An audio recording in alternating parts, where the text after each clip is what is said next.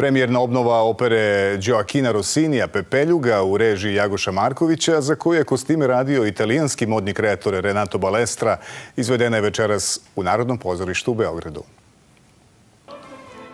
Pepeljuga sa Jadrankom Jovanović u naslovnoj ulozi svojevrsni je Vremeplov.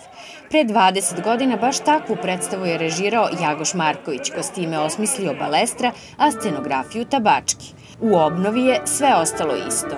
Zašto? Glavni krivac za to je Jagoš Marković, koji me je satima i danima zvao, telefonirao, molio, a moram reći jedan splet okolnosti koji sam ja protumačila kao poziv – prosto sam se zadesila u jednom trenutku gde je moja proba jedna bila otkazana, a probe pepeljuge su se odvijele bez i jedne pepeljuge.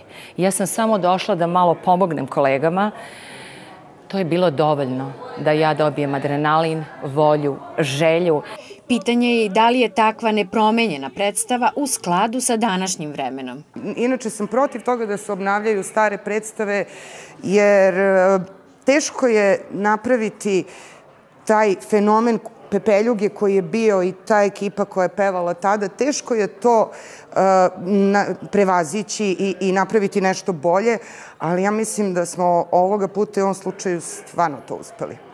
Pepeljuga je bajka o lepoj devojci koja postaje princeza uprkos zlim sestrama i maćehi. To je priča o opraštanju i prihvatanju. A arhetipski je tema još šira, ali trenutno za nas je najvažnije što je to priča o operskoj nostalgiji, o vremenima koja se, uprkos obnovama i restauracijama, neće vratiti.